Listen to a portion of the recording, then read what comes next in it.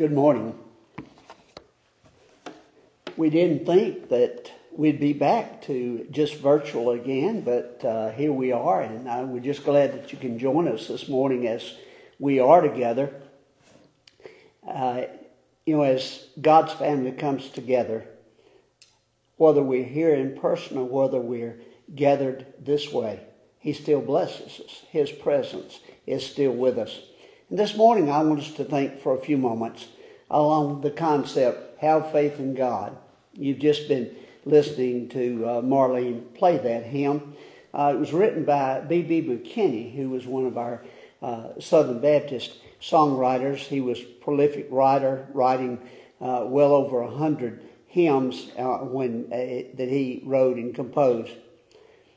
He took the message out of Mark 11th chapter and uh, of where Jesus deals with the fig tree. And in it, he wrote this hymn, Have Faith in God. He wanted to remind us that God can do anything through us if we will believe in Him, if we will walk with Him. Mark 11, uh, getting about verse 12 and then down to verse 22 an unusual story. It's a story of Jesus and the fig tree, one that's always been of great interest to me. It says on verse 12, And on the morrow, when they were come from Bethany, he was hungry. And seeing a fig tree far off, having leaves, he came, if haply he might find anything thereon. And when he came to it, he found nothing but leaves, for the time of the figs had not yet come. And Jesus answered and said unto it, No man eat fruit of thee hereafter forever. And his disciples heard it. And then there's an interlude as he there uh, somewhere else in, in another ministry, and then back in 22, they come back again, and they see the fig tree. And verse 21 says, And Peter, calling to remembrance, said unto him, Master, behold the fig tree which thou cursed is withered away. And Jesus answered, saying unto him, Have faith in God. What a powerful message is given to us here as we look at it and we think about it. Jesus and the disciples were traveling, they were going along, and they saw the fig tree. And he was looking at it and he wanted to uh, have some figs. I learned and understood this uh, story quite a bit more when I had, was able to spend some time in Gaza in the compound where we were staying. There was a large fig tree. And every morning when the guys that were hauling us around would come by, the first place they went was to this fig tree. Uh, the figs there uh, that they're growing are large and they they eat them when they still look green to me, but uh, they take them and peel them, and uh, they always looking for them. And they every morning they get every one of them that was where they could eat them off of the tree. A little later, as was visiting with a family, as we were uh, sharing with them, uh, they're very concerned about uh, greeting you and uh, doing something special for you. And that day, as we visited with the family, the lady brought out one of these figs peeled and gave it to us and to, to eat. It was the, their way of giving greetings. So the fig tree was very important to them. It was a place of food. It was a place of them showing that they cared for others. And Jesus was using that fig tree that day as he saw it when it did not bear the fruit for them to have anything to eat, when it was not really reaching out. He said, It serves no purpose. It serves no purpose. And soon it had withered away because of the words that Jesus spoke to it. He was reminding us that God works through us. God can do things through us, but only if we're open to Him. About three things I want us to think about this morning that comes from the message here. The first is that God is our hope. And if you look at that hymn sometimes, Have Faith in God, one of the lines says, an important message, never alone are the least of God's children. of his children. He's saying, Our Father cares for our needs. He knows those needs, and he wants to take care of them. He knows how to use us and what he wants us to do. Henry, my grandson, and I, we love to go shopping together. That's one of our favorite things to do. We go into the store and I'll say, Henry, now you pick out something that you want. And he'll go and he'll look carefully and he'll pick out his one thing. And then we go up and I pay for it. That's, that's the way that we, it works. He picks it, I pay for it. Is that not what God does for us? He sends us out and he says, go make a difference. Go make a difference. And if we do as he says, if we try to walk as he says, he blesses us in that. He walks with us. For our hope is in following his word. Our hope is doing what he asks us to do and asks us how we live. Do we understand truly what he's saying to us? That if we're out working for him and doing what he asks us to, we're never alone. He opens doors. He opens doors that sometimes seems totally impossible for us to do. Some years ago, I had sent a couple of medical teams into Indonesia. It was after the tsunami had hit and uh, so many people had uh, died along their coastline and so many had been injured. It was a section of Indonesia that had been closed for uh, many, many years to any Christian witness. But we had just a time frame there in which we could get in. And so we sent these teams in, not knowing exactly how they would be accepted or what would be able to do through them. As they got there, uh, they went and they talked to the imam who they sent them to, who is the more or less controller of the mosque and of, the, of their Muslim religion there. They talked with him and shared it. He said, we desperately need the medical help. Said, I'll, I'll see what I can do. And came back a short time later and he said, this is what I've worked out. I will do the call, their call that they do to worship, uh, the early one. And said, after that, you can have the mosque for the rest of the day. You can come and you can use it as a hospital and take care of the people. And so this medical team, as they were there, not only did they get to take care of the medical needs, but they got to share with them about Jesus inside the mosque there, telling what his love and what he could do for them. A door that was open that seemed impossible, but God was there because they were working for him. They were serving him. He opened the doors for him. He is our hope in whatever we do, however we go. Second thing he reminds us of, he can meet our every need. Whatever's there, he can take care of it. You know, last week we talked for a moment about Jesus' first miracle, about when he went and he turned the water into wine. Mary had come to him and told him that there was a need. They had run out of the wine for him. And so he, at first, said, I, it's my time's not here. I don't want to do this. But then he went ahead. For Jesus had a plan. He responded because he wanted us to understand he cares for our every need, even the little things that don't seem important there. If it's something that can make a difference in our lives, he will take care of it. He walks with us fully in all the things we do. Luke probably explains it best as he comes back and he shares in his scripture in the 12th chapter. He talks about two or three different things about how God reaches out, out to us and what he does. And he uses the things around us to give us that example. Over in, in the 12th chapter and the 6th verse, he makes the statement. He says, Are not five sparrows sold for two farthings, and not one of them is forgotten before God?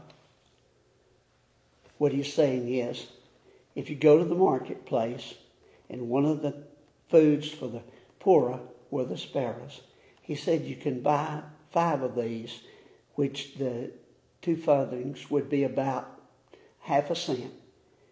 You can buy about five of these. They don't cost much, but even if they seem of little worth to people, God looks after them. God takes care of them. But he continues as he talks. He says in verse 24, Consider the ravens, for they neither sow nor reap, which neither have storehouse nor barn, and God feeds them. How much more are you better than the fowls? He's saying, if God can take care of the ravens, if he deals with them, the crows, if he's willing to take care of them and he understands them that much, don't you think he'll take better care of you? Don't you think that he will meet your needs when you have them? And then in verse 27, he goes on to say, Consider the lilies, how they grow. They toil not, they spin not, and yet I say unto you that Solomon, in all of his glory, was not arrayed like one of these. If then God so clothed the grass, which is today in the field, and tomorrow cast into the oven, how much more will he clothe you? O ye of little faith. He's saying, God will meet your needs. Do you really understand how much he cares for you, how much he loves you, and what he does? As he does that, he reminds us of something. He reminds us that God cares for us. He cares for the people around us. They, whatever country they're in, He's reaching out to them to make a difference. Do we have the faith to reach them? Do we have the faith? Will we take a chance on touching the world about us to make that difference? Some years ago, I had a chance to be in Gaza. An interesting place to be we were there and we were working with the children.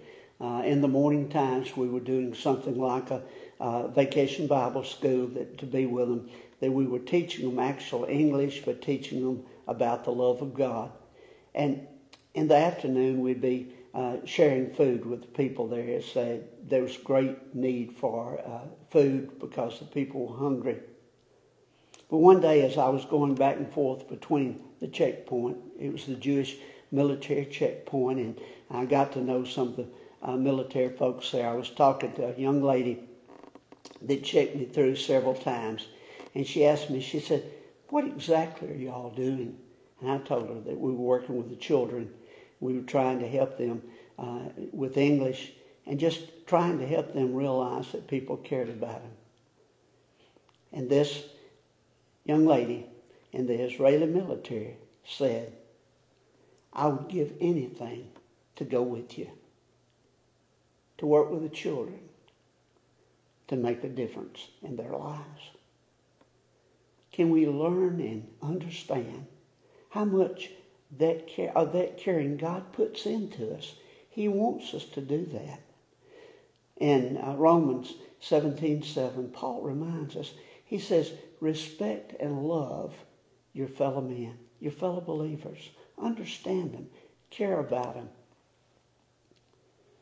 I spent uh, a lot of years uh, in ministry, different areas, and uh, after I had moved back to Mississippi, uh, felt like that God wanted me to do something in missions and something special. And I had made up my mind exactly what I thought that He wanted me to do. I thought I wanted to go to Kentucky and work with uh, the mountain people in, in uh, eastern Kentucky, and especially with the young people there. I had read about a ministry there, and I knew the lady was retiring. I thought, that's exactly what I want to do. But you know what? God didn't have that plan. He said, Have you ever considered the needs in your own state, in Mississippi? Have you considered the needs of the young people of the children there. And so for 32 years, I was given the opportunity to work with them, to touch lives. These young people that were so much in need, to see them, so many of them follow Christ, and to reach out. Do we care about our people? Do we look and see Where does God want us to be? It may not be where we think we want to be, but it may be important than any other place we can. Third thing I would ask you can you believe God's grace and love for us? Ephesians 3 17 through 21. Once again, Paul is writing to share with us his thoughts of what he understands God is telling us. In uh, verse 17 beginning, it says, That Christ may dwell in your heart by faith, and that you, being rooted and grounded in love, may be able to comprehend with all the saints what is the breadth and length and depth and height, and to know the love of Christ, which passeth knowledge, that ye might be filled with all the fullness of God.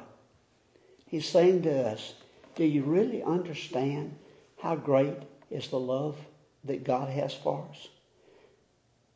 The height, depth, width, length, it moves through all areas. Can we understand how far reaching it is and what happens? When I had a chance to be in Russia right after it had opened up, one of the things that I noticed quickly was how dear the Russian Christians were. Some of the nicest, kindest people I've ever had any dealing with. So full of love for us as fellow Christians, but most of all, so full of love and caring for the lost of the, their nation. So many, so many never hearing. It was interesting to talk to some of the young people. They'd grown up in communism. They didn't know anything about Jesus. And they wanted to hear. They wanted to know what difference was there. One afternoon, I had a chance to visit. It was a, their holiday of their victory over Germany. I got to visit with many of the uh, generals and admirals of that period of time. They were being honored, and because I was an American, they allowed me to go through and talk to them. And I will never forget one as he shared his feelings. He said, we once were enemies. Now we're friends. Can we be friends forever? That was a feeling at that time. What an opportunity we missed in Russia to really make a difference for Jesus. You know, it's interesting to me as I uh, read the scripture and look at it. The Jews, as they were dealing with Jesus, they worked like crazy to keep the law. And they, it was just imperative that they, every detail of it they wanted to do, down to the how many steps you could take on their Sabbath day. They knew how to do the legalism, but they could never understand the faith that it took to believe in Jesus. I sometimes wonder, are we getting to that point in our nation? And we're so caught up in the legalism and all the things about us and how we're going to make a difference that we forget that only God can make a difference. That's what he's saying to us. Do you understand my love and grace? Can you work to give it again, give it away? You know, we understand works. We understand that if we can do this and make a difference, it's important. But can we ever understand free grace? Free grace, we only get it by being willing to accept it. There's nothing we can do. It's so contrary to anything we think of that even the world doesn't understand it. But what it's a reminder of, through faith, we can have Jesus as our Lord and Savior. Through faith, he lives within us. Through faith, we can face eternity in our walk with him. Have you, through faith, opened your heart you may not have ever believed. If you've not, I'd ask you this morning, take time to pray and ask Jesus to come into your life. But at these of us that are believers, do we stop and think what we have, what faith allows us to do in changing the world in which I, we live? I pray this week you'll look about you and figure out your way to make a difference by sharing Jesus with those you come in contact with. Thank you for being with us today. Would you join me now as we close in prayer? Father, how thankful we are that we have the promise that if we have faith in you, we can make a difference in our world. If we have faith in you, that you walk with us. If we have faith in you, we begin to see how broad, how wide, how deep is the love that you pour out upon us. Father, as we take that love, I pray that we will take it and use it by giving it away to others to help them understand what God can do within their lives, the difference that Jesus makes to us every day. Father, bless each one that uh, is listening, each one around us, and help us that we will be the ones that will change our world. We pray these things in Jesus' name. Amen.